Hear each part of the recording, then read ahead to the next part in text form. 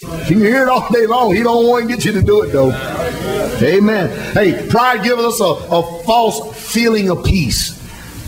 Wow. You ever had that one before? Yes, sir. You know, usually you like going out somewhere, being by yourself, and getting the peace of the Lord while you're tormented. Yeah.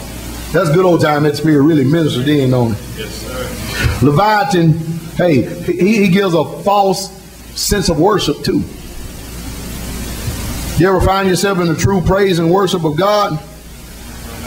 You ever find yourself like that before?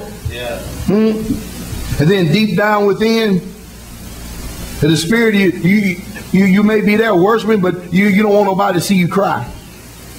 Because you feel like you may be exposed and open up yourself. Go ahead and change the tape, bro. Amen. I might use this at the next deliverance workshop.